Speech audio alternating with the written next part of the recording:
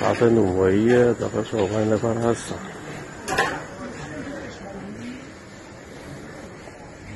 真的。